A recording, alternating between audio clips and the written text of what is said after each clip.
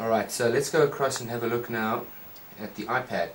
So one of the key things you need to know about the device is that it cannot stream to two devices simultaneously. However, you can synchronize it or use it with separate devices uh, within 10 second gaps. So I'm going to close the application. I have to wait 10 seconds before I open the application on the iPad in order for it to uh, allow for switching. So it's just one of the rules we've put into place here. So we've got the DSTV, okay, so it's connected to a different uh, Drifta.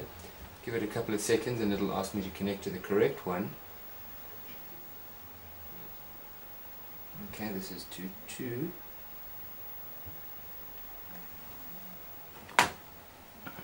Quickly pick up a defect.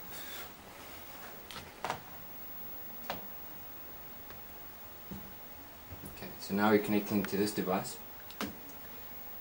Um, and it will put all the channels as we see over here. So here are all the channels. We've got the same channels we saw on the iPhone. And it will automatically connect to the last channel you watched. Or if you haven't watched a channel before, it will connect to the top channel on the list. Uh, user interface is relatively similar to the iPhone interface. You've got your volume, your volume key here. You've got your signal indicator, your decoder, battery life.